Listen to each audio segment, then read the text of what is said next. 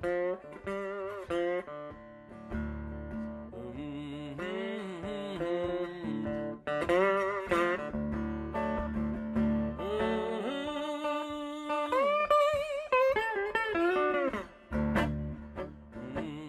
sort of a confluence of reasons why so many cyclists live and train in Boulder. One is obviously the altitude.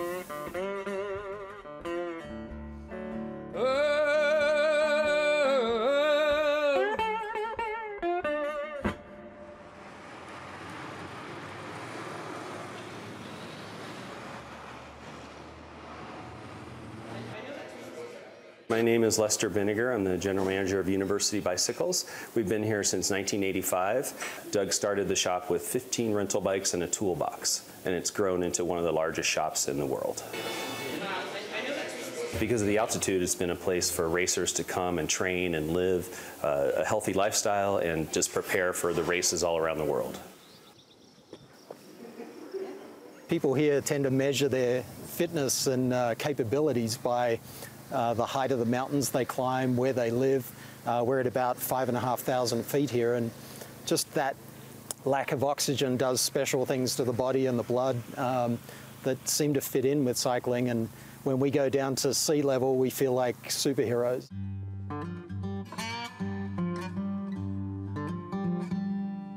I grew up in Golden, Colorado, so half an hour down the road, and uh, being born and raised at altitude, I don't know. Look at all the Colombians running around in pro peloton now, like, uh, kind of in the same boat, I guess. We're at about 5,000 feet or whatever that is, 15, 1,700 meters. Um, so it's good for training, you know, to, to go from, you know, the rides here start at that and go up to 10,000 feet or 3,000 meters. Spent uh, two weeks in Boulder, and yeah, it's completely different sensations uh, compared to racing or training on normal sea level. So you get the altitude, which is obviously good for the red blood cell generation, but then there's also several canyons that go up, to, uh, you know, to the Rocky Mountains.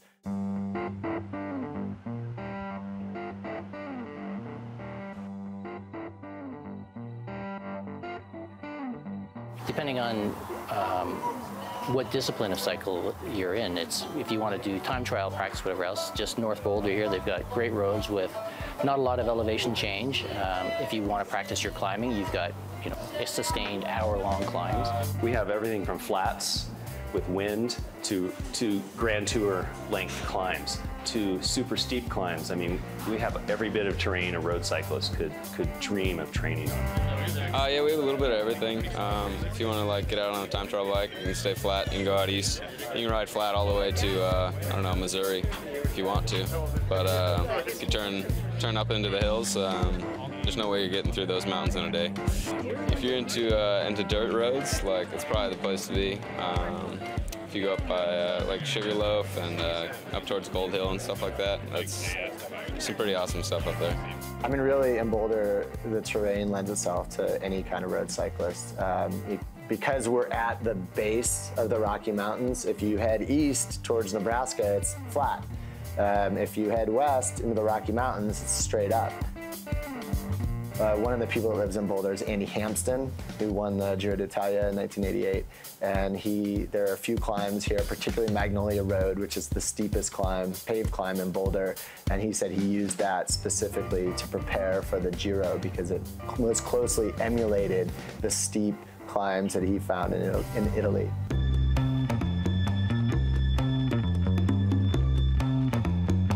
Yeah, I was born in Boulder, Colorado in 1990. My dad was actually born in Boulder. Um, so we got a second generation Boulderite. Uh, a lot of transplants, a lot of people moved to Boulder from East Coast, West Coast. It's all I know, you know? It's like the mountains and the flatlands. I always loved climbing because it meant that I could descend. So if there's anything that living in Boulder uh, gave me great access to. It was training for, for being able to descend. You take a young cyclist who wants to prove themselves And if they live somewhere where it's flat and windy, they might not be so inspired. But again, when there's so much good riding at their doorstep, they have the ability to go out, enjoy themselves, but also find out what they're capable of.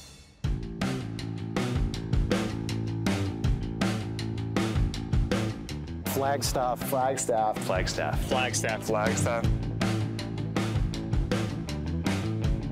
It's definitely the most iconic climb for us because it's right out of town and anyone can, can ride up it and it's relatively safe to do so. And it, it, it just, uh, it lets you kind of oversee the front range, oversee Boulder as you ride up the, up the climb.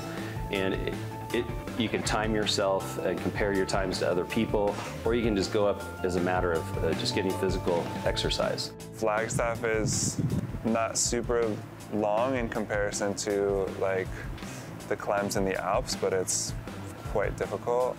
Um, it's around 30 minutes if you're going if you're going pretty fast, and that's a long climb for me. I think that's a long climb for anybody.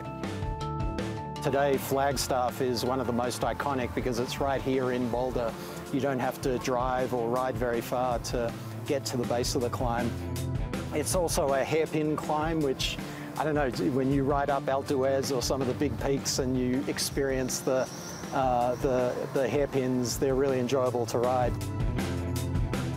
You can go from anywhere in Boulder up Flagstaff to the top and back down in an hour and a half and climb 3,500 feet. And it's steep. I mean, there's some there's a wall on Flagstaff uh, that feels like it never ends, and really, no matter how fit you are, it never gets any easier. You might go up it a little quicker. It's very, very difficult.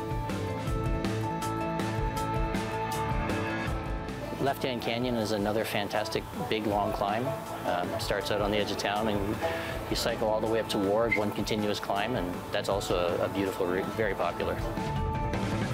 I really like the climb up to Brainard Lake at the top. It's the highest you can kind of get in Boulder County, but uh, up at the top there you have these uh, Mount Audubon and these these treeless, massive 13,000 foot peaks.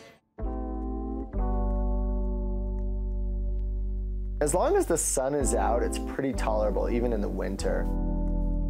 So you can have a 20 inch snowstorm one day and two days later all that snow's gone. So it is rideable all year round. It's not too bad because it's so dry, even when it's cold, it's the sun's out. That's the beautiful thing about Boulder is we get 300 days of sun, or at least that's the quote about the town. When you think of like we have so many beautiful days and just so much fantastic scenery on every ride you go on, whether it's a mountain bike ride or a road ride. So there's, there's never a lack of beautiful places to be.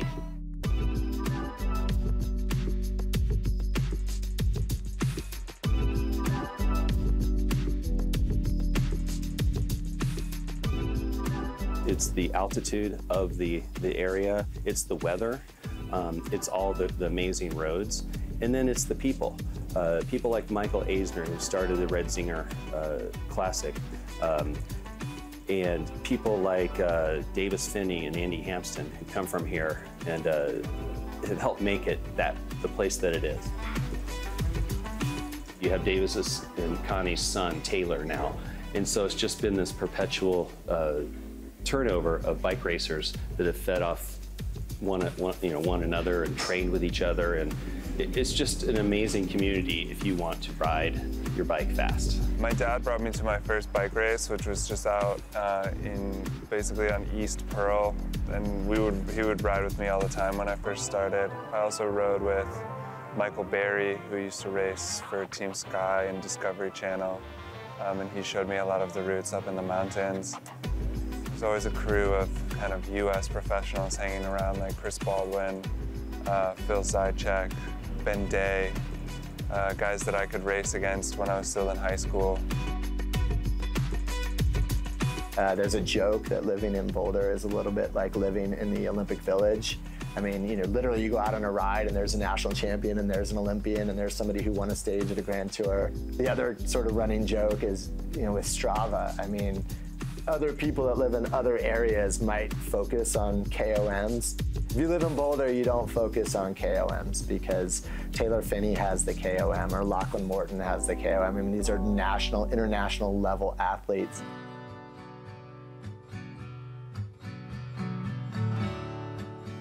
Boulder's a super fit town. Um, it's kind of funny. I grew up there, but now I left and I live in California. Everyone else moves to Boulder to be an elite athlete, so I left. Um, but I was born and raised there. You know, I had a different Boulder than a lot of people because uh, you know it, was, it wasn't that elite sports scene. It was my high school friends and. But of course, growing up in Boulder, my entire group of friends in high school all had like their sport that they were excellent at. You know, like everyone has a sport in Boulder. Everyone is at ease there and like super happy and positive, and you've got so many inspiring people to like talk to or like hang out with. Everyone's happy almost like it, it's almost too much happiness, but uh, that works for me. So. Yeah, Boulder's a special place. It's the bubble, you know. It has its own set of rules that are. It's just. It's ridiculous. You can make fun of it more than you can enjoy it, but it's also, it's home, and there's a reason that Boulder's better.